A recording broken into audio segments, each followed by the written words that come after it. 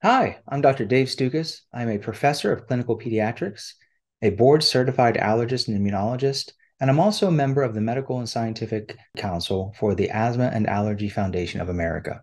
When should someone see an allergist for suspected allergies?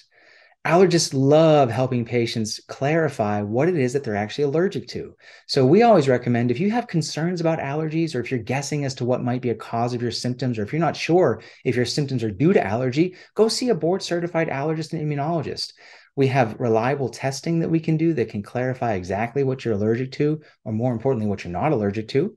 We can discuss your personal symptoms, and we can also come up with a, an individualized treatment plan a large part about what we do as allergists is not only identifying what somebody's allergic to, but we talk about the role of the environment because a lot of times the, there are simple avoidance measures that we can help people with asthma or environmental allergies address inside their home or, or outside their home.